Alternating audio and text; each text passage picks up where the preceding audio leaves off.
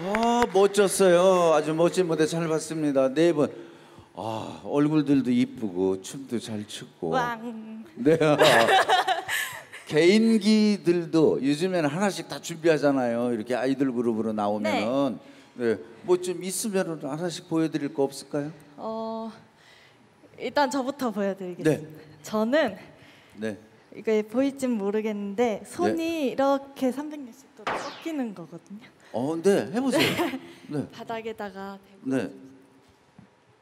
아, 오. 아, 저는 트와이스 선배님의 라이키에를 맞춰서 물병을 머리 위에 올려놓고 춤을 춰보도록 하겠습니다. 멤버분들이 불러주세요. 네. 네. 둘, 셋. 설렌다미라. 아이고, 아이고. 똑같았어요.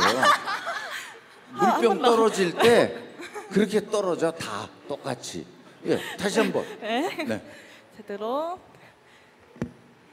둘, 셋. 설렌다. 제 생각에는 그 잘 안 될 것 같은데 한 번만 더 해볼래요?